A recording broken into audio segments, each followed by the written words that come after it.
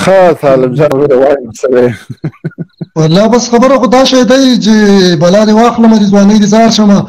چې لکه دا اوس دلته د کورونا حادثې دي کومه لاته ته کورونا دنیا ټینشن بلاک ډاون ټول دنیا په عذاب کې پرته ده مونږ تاسو دې ورکوټي عذاب کې الله رې سر کړی شل په دیرشو کالو نم پکې کړی لکه زه په خپل طالبانو کې طالب یم فخر په کوم چې زه طالب یم خو خبره داسې ده زه لګي څو خبرې پکې کول غواړم ځکه چې زه دا اوس هم ما سره ځینې داس طالبان ناز دي چې بس د مورچې خلک دي او مورچه کې هر ټیم لکه ډیر خوشاله دي نه خو لکه زه د خپل مرګرو ته ما ډیر ریکوستونه ډیر مینتونه ډیر زاري لکه دې کم وخت کې ما پاکستان ته چکر وهي او لاړم تر سوات مدین کالام بر کالام پورې زلاړم چکر د پاره مرګري ورا سره ها نو کیمرانو څخه بند کړی چې څوک هم پکې شناختونه کې نو خبره داسې ده چې موږ کلامو پورې چې کله لاړو ما سره نور مرګري بو نو کدا لایف کسان دا زما خبر یو ټول دا به ډېر مزمو کې او زه درته د لا اله الا الله محمد رسول الله صلی الله علیه و علیه وسلم چې په هر چیک پوسټ مونږ کو شوی یو یو مرګره هم کو شوی صرف زمون خپل کوډوډ دی هر چیک پوسټ باندې مونږ کوډوډ ویل زمون سلامي شوی مونږ نه چا پیجاندو نه نه تعلق نه پیچانو زمون سلامي شوی مونږ نه باقاعده نمبر غوستیا لکه تاسو نمبر پرې دی تاسو زمون په کار راځي تاسو زمون لکه زدي کارو ته بیا ډیر جالب شوما نو زه دلته حیران په دې مې چې دا طالب لکه دومره وګده دنیا لکه دومره وګد وخت لکه خدای تی ځان نه توبه خدای توبه لکه زه په خپل طالب یم لکه زما د خپل مشرانو ته دا ریکوست دی دا قطر کې چې څوک ناس دي کنه او دا قطر نه دوی مرکی او لانجی او د معاهده او امضاګانې او دستخطي نو لکه د دې رزلټ تر اوسه پورې د مونږ ته دی افشا نه کو چې انګريزانو سره دوی معاهده امضا کړلې تر نن ورځې پورې دوی مونږ ته دا وایي چې تاسو باید په مورچه کې اوسېږئ نو زه هغې ته دا ریکوست کوم کوم چې په قطر کې دفتر یې دا زما مشران دي زما عظیمان دي زه هغې ته دا وایم څو کاله کېږي طالبانو سره طالبان خو تقریبا شل کاله وشو بیا دې موږ نه ترې خلاصېږو زه په خپله تقریبا د ما عمر به دومره نه خو زه زما تقریبا نهه کاله کېږي زه د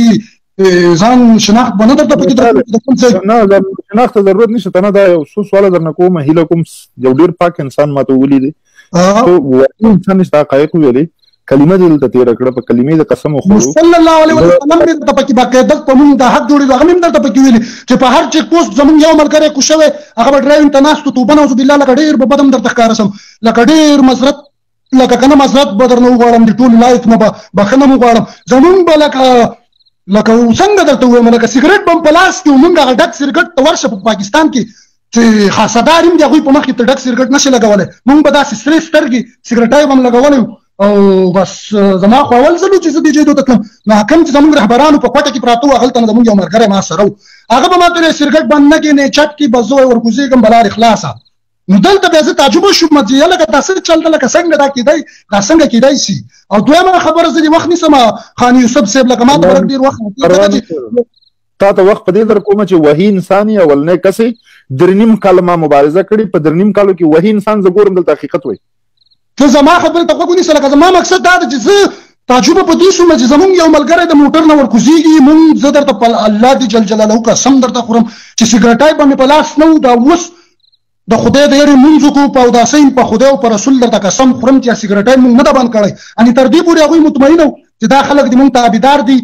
نو باقاعده به چې ډرایور راغی لکه زه به داسې حیران هم شوم نو لکه ډېر پارک ځان کې خو مې ذاتي خود ډېر پارک راوړی نو د خپلو ملګرو ته ما ډېرې میناتې وزارۍ چې هلکه تاسو لاړ شئ پاکستان دورې ووهئ دا د مدین چکرو او د مدین دوره وه چې سوات ته مونږ تلو چکر ته دویمه خبره په منصیره کې زمونږ ملګري دي په منصیره کې ټریننګ کیږي نو لکه هغه ملګرو ته بیا دا وایم چې تاسو په منصوره کې ټریننګ کیږئ تاسو ته څوک چا د سیونه ویل چې دا ټریننګ لکه ما ته یو ملګری ته ته خو به سم دي د لاس وجل کیږي دا ما تم پته ده ما به ان شاء الله الحمدلله خدای به مې زکه بي ځای نه وځني نه بي ځای ځان ورکول غواړم زکه زما تقریبا د پاکستان ټکر زما سره دې کلا وکړي او دا خبره ده چې څوک کوئی کړه دا د شي دې شي هغه څه دې زه فخر کوم مایک دې بند کوم کوم مایک خلاص کړم مایک هم بند کړی لکم کلی والا مې دې بند کمره مې دې بند ګزا لکه دویمه خبره دا چې ما ملګری چې څوک هغه زه د الله په ذات قسم خورم چې بغلانیان دي جهادي ځان ته مجاهدین وي د ټولو مر د مولا برادر په حکم د مولا برادر په کومانده باندې جنگیدلي خلک دي نو هغه ته ما ویلي ملګری تاسو څنګه چل لکه مزي خو مال دي تاسو دي مدین دي تاسو دي سواتان دي تاسو دي پوجیان دي تاسو دي اپسیان دي تاسو دي خاصدار دي تاسو دي نو زه جالبه مری په دې شوم چې مزې ټولې دي تاسو دي اخوا ته مونږ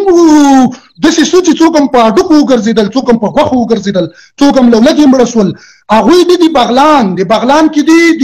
حسین خیل بغلان کې که څوک بلد یي د مزار طرف دوسرکه چې ورته وایي یوه لاره تللې د مزار ته یوه ته ګرځي بغلان ته نو بغلان لارې ته چې وګرځېږي هلته بیا د بغلان دروازه راځي هلته د حسین خیل پراته دي، حسین خیل هلته برقرار دي، نو هغه دي هغه چې ښه باشندګان ډنډي غوري ورته وايي دي ډنډي غوري خلک دي، نو هغوی ته ما ویلې منې مزې خو دي تاسو دي، بیا مې چې داسې تپوسونه تپوسونه لکه زه بل چا ورته رالېږلی وم پاکستان ته چکر ته ځي دې هلک سره ته ملاقات وکړه دا به تا وګرځوي نو هغه بیا ما ته خپل شناختي کارډ راوښود شناختي کارډ یې دي کاروبارونه یې دي کورونه یې دي بغلان هم خوري کوټ هم خوري او جهاد الحمدلله ما او تا باندې کوي لکه دی لکه دی وضاحت تاسو بیا د منصوري ټریننګونه زه خبره بل درته کومه یوسف خان یوسف صاحب لکه ډیر وخت دې سم تر ته چوپ خلنه ناشتي ما ته ځان باندې ښکاري ایران ما زه خپل قسم مې په خدای دا خلک به دا فکر کوي لا اله الا الله محمد رسول الله دې سړي کلمه تیر نه زه دا پیژنم چې مې دې غږ په ژوند کې اورېدلی دی او نه والله په بالله که دا انسان ماته معلوم وي په دغه لایق کښې هم نه دی اورېدلی دغه ورور اوس نه دی راغلی دغه ورور هرکلی صاحب بند کوو ځای کې برقرار یم زه په دې ځای کې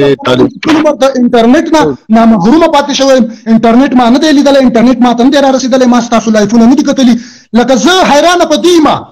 چه په افغانای بچه دا ټول دلته افغانیان لایف دی صحیح ده کنه زم افغانای ما زه بیا لاړم شمشاتو کیمپ ورته وای دا ټول بلیدلای پیژنی وی زه التم لاړم زمو ملګری دی خو جنگیدلی خلک په شمشاتو کیمپ کې نوسیږي زه په پاکستان کې تل چاکو سره خو سکه له پیچکش سره دی چې ګیر کی پیچکش سره تاته کې دی سی وای جلکه په پکې طالب جانا ته حزبای ته چې حزبای ته له حزبیانو سره ګرځېدلی خان یوسف صاحب د طالبان سره څه خبرې کول غواړم او به کول سره طالبانو کې قربان سره به کې دوه ساعت ور سره وکړه خیر دې زه دام دلته پرېدم زه خپل حیران یم چې اولنې دفعه د په زندګۍ کې د غدرنیم کاله ما مبارزه کړې د درنیم کاله د خلکو زما غږ اورېدلې د خلکو ما اورېدلې اولنې دفعه چې یو انسان راغلی حقیقت و یو د حقیقتونه ما په قرانونو تاسو ته کته کړم خان یوسف صاحب خان یوسف صاحب کڅوک په ما باندې تور لګي الزام لګي هغه څه زمانم زه زه په لایفونو کې نه چا سره جنگیږم نه جنگیدل غواړم نه د لایف جنگونه ما سره کوي او خبره داسې ده زه لکه ډېر وضاحت به نه در کومه د سروبي په تنګي کې نه مانه کتار تیر سوی د سروبي په تنګي کې چې داسې لنډ په دې غرو غرو ډېر مې نور نږدې کوه خان یوسف صاحب بیا دې دې غرو باندې جور واوړي شاته ډېر کلي راځي په دې کلو کې زه دې یو کلي نه یم سروبي په تنګي کې نه له مانه ټانکر تېر سوی نه له مانه اردو کتار تېر سوی خو زه تا ته دا وایم زما د تره زامن دي ټول په اردو کې دي لکه کینوم سره یو بل سره کینوم لکه تر زوی سره هغه بیا بل طرف ته ځي خو زه د سروبي په تنګي کې داسې جنګ نه دی راغلی چې زما نه پاتې شوی په خبره باندې پوهېږي دا ټولو ته زه وایم چې په ما باندې څوک د کوم ځای الزام لګوي د کوم ځای ټاپې لګوي خو زه دغه ریکوست دا مینت دا زارۍ لکه په کوټه داسې قسم درته په کوم چې بغلانیان دي او دا درګن کردار یې وکړل او دویمه خبره داسې ده زه د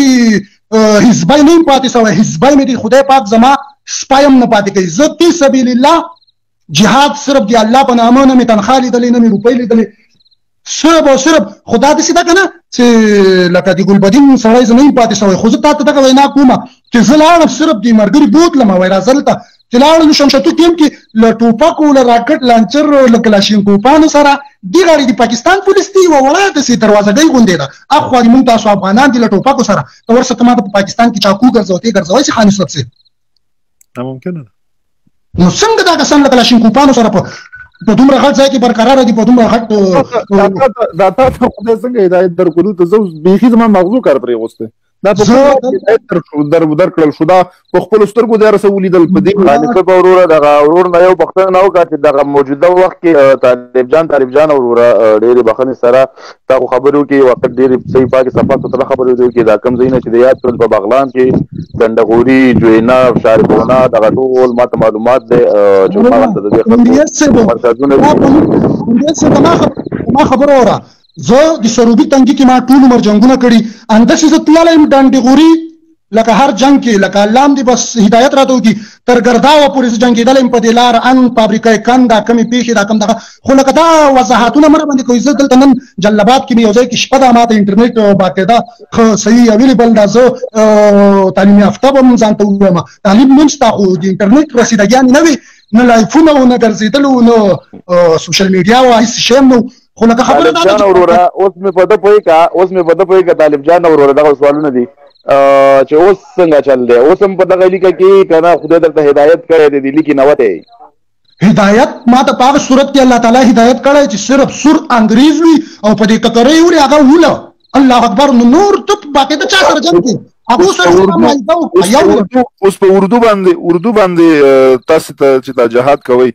اوس خو هغه واغې سره تاسو خپل معاهده وکړه نو اوس په اردو باندې جهاد روا دي دا د شپږو کالو ما پی د خدای راته وکړي د پنځو کالو پنځه نیمو کالو باقاعده چې کوم وخت نه لکه لکه باقاعده لږ وخت مو شو دی ما الحمدلله دومره وخت سوی با که دما سره مرګری دی تاسو غږ هم اوري نو کیمرې یو هم ځان نشو کوي ما ډیرو ته ویلي مالک کوم یو کیمره کې ځان دغه کوي لکه هغه ویلي وینا نه کوو نو د سروبي تنګي نه چې واوړي تنګای په دې غرو چې راوړل څنګه به موږ کنټرول لاندې موږ بیا باقاعده دې تنګي تر لګلو یو موږ تاسو تنګي لرو دي مایفر تنګي دا یو دې سروبي پته دراته پته سروبي پاس تنګي دا بالکل پاس تنګي نو په دې غرو چې واوړي غرونه چې شاته واوړي شاته دي مونږ ټول دا کومه کار چې موږ سره لاس دي دا ټول دي شاته کلو دي باقي تاسو غږ ما اوري خو لکه خبره دلته دا ده چې هغوی سره موږ معاهده وکړه لکه زه د خپلو غټان دا غټان به نور ته وایم دا کلانان به ورته وایم په درۍ کې به ورته وایم برای مهرباني لکه دوی د داسې کار وکړي چې را دي سي ټول عمر جنګېدلي خلک دي ما ته دي هر امیر ما ته باقاعده پته ده لکه یو د کوم پوهنتون اسناد نه لري یو دانه په مونږ کې الحمدلله د کوم یونیورسټۍ اسناد نه لري د مدرسو اسناد دي د مدرسو تقدیرنامې دي د مدرسو شهادتنامې دي او د جنگ تقدیرنامې دي چې دوی په جنگ کې تقدیرنامې اغستې دي را دي شي او مایده مو سوله امضاګانې مو کړلې امریکایان تر خپل حدود وخته پورې وځي نو چې دوی وځي راسه دوی چې کوم د ځان ته ان ډي اس وایي دوی به مونږ ته سیاست کنټرول کړي مونږ ته به بودیجې د حساب کتاب د سیاست سیاستوالان هم پرېږدي په خپل ځای ته جنګېدلي خلک دي په جنګ ښه پوهېږي سرحداتو قومندانیانې دي وغواړئ هر یوه قومنداني به تاسو ته واله شي نو تاسو به کېده جنګېږي څه دپاره د مو مشران او طالب جان تاسو خو دا غو ګروپ نه ناشته چې کوم ګروپ قطر ته هم زنګ وهل او موږ د ساوریدلیو چې قطر ته دا ویلو چې تاسو خو امریکایانو سره معاهده وکړو نور موږ جهاد چا سره وکړو دا غو ګروپ نه خو تاسو ناشته والله والم زه درته دروغ نه سم ویلای لکه هغه ګروپ نه مونږ تر اوسه پورې لکه مونږ ډېر د انټرنیټ نه ډېر وروسته پاتې یو انټرنیټ مونږ ته نه را تلی سی لاس ته نه نن دا څه موده مخکی د جلال اباد کی موبایل هلکانو ویلی وه داسی لایفونه دی انټرنیټ دی نو ما ورته ویل میا راځی نن لایف ورځو خبری کوو خو لکه خبره داسی ده اذان مونږ نه ده وهلی ولی دروغ نشو ویلی دروغ د ایمان زوال خو لکه زه تاسو ته دا ریکویسټ کوم خان یوسف صاحب لکه دوی دوی صرف او صرف پریزیډنټۍ لپاره جنګیږي په خبره پوهیږي چې حکومت راکا نو ما چې زه څومره علم څومره پوهه په افغانستان کې زار ګوټ کې وجنګېدم زه چې څومره پوهه لرم وروره دومره ویني به توی سي د امریکا له وتلو نه پس هم که دوی دا خوبونه لري چې زه به پادشاه سم لکه پادشاهي د ده نه له قوارو سره دا ریاست جمهوري خوري نه له دې واسکټو سره خوري نه له پرسنالټۍ سره خوري دوی صرف غټه قومانداني او رهبري او د بارډرو کنټرول دا ما ته په بارډر وګرځېدل جنګېدلي قومندانان دي ټول پارس ته پوهېږي ولا نوم د خدای ستکه جرت څوک دي نه ایران جرت دي نه پاکستان جرت دي چې راسي نو موږ په مقابل کې یا په موږ مزایل را شاټ کی کلم کونه ولي کلم کامه ولي کلم دی خور ورته کې خان یوسف صاحب بس الله دې تاسو آباد لري د لایفونه دي تاسو په لاس کې دي خو ډېره مجبورۍ او ډېرې غریبۍ او ډېرې نیستۍ او ډېرې کونډې په افغانستان